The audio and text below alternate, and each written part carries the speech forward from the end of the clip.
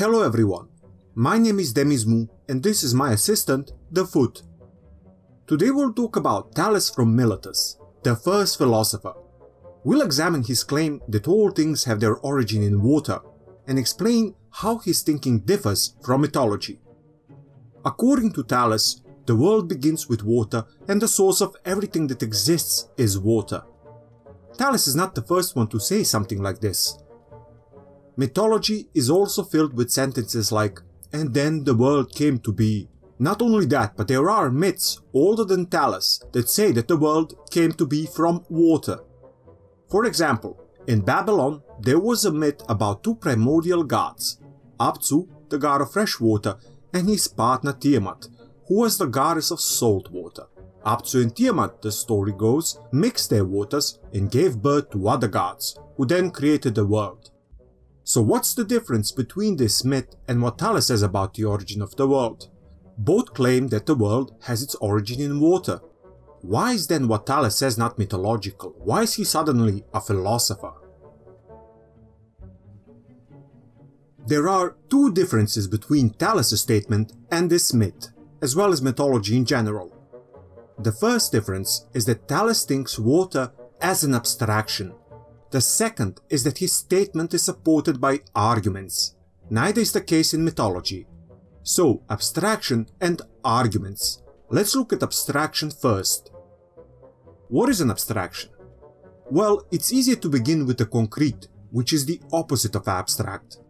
So, what's concrete? Concrete things are those you can single out and point to, saying, this here. For example, every time you want to point to water you have to point to a glass of water, to a river, to the ocean, to something presentable before you. Concrete is something tangible and individual. It's the same thing with gods that represent water. Apsu and Tiamat are a personification of water.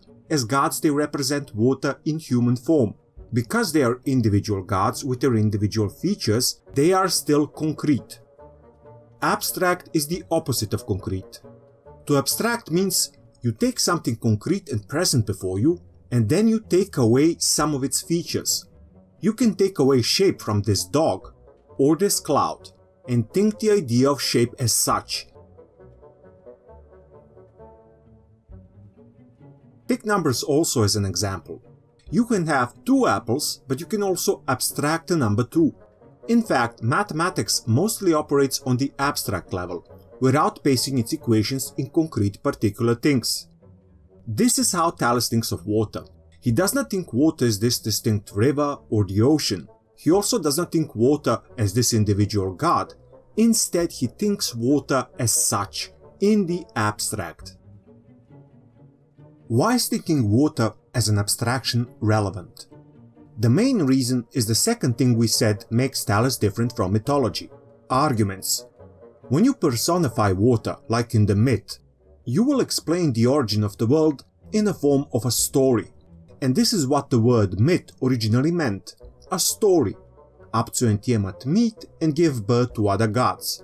One of their children, Marduk, rips apart Tiamat and shapes the world from her body parts. So when you make your origin of the world something concrete, you tend to deduce the world by following what concrete things can do Water gods can give birth to other gods, kill one another, and so on. When you think of water in the abstract, however, you don't have such thrilling stories to explain how things came to be. What you are left with are arguments. And this is the central difference between philosophy and mythology. You either believe in a myth or you don't. In philosophy, you have to provide arguments. So what arguments are there for Thales' claim about water? We don't know if Thales ever wrote anything, nothing survives in any case, so all the arguments are later reconstructions from other philosophers. But one argument I'm interested in is that perhaps Thales thought of water as the origin because water can change its state, becoming steam and ice. What does this argument tell us? Well, the most important thing we can see is that Thales focuses on some of the central features of water the fact that it can change its state. In other words, when you think of water in the abstract, you also think the essential features of water. not what water is as a glass of water or a river, nor how water in human form behaves like, but water as such. And then it becomes clear why Thales chose water in the first place. On the one hand, Thales looks for the stable, unchanging origin of all things. On the other, that stable and unchanging origin must also explain the emergence of all things, which means it must also explain change and diversity of things that we witness all the time. If you take a rock as your origin, you won't get far. You don't see rocks changing that often. They are too stiff and concrete and make for bad abstractions.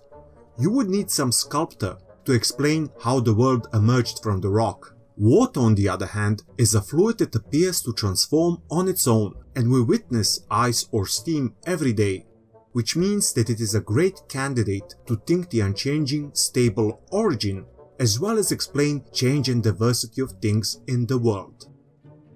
To conclude, two important features define Thales as a philosopher. First, abstraction, thinking that operates on the level of abstraction as opposed to concrete individual things. Second, arguments, the explanation of how things come to be from the abstract principle, in this case water, is not guided by narrative or supported by belief, but by argumentation. Next time, we'll talk about Anaximander, a follower of Thales, as well as about his idea on what is the origin of all things. Thank you very much for watching and until next time.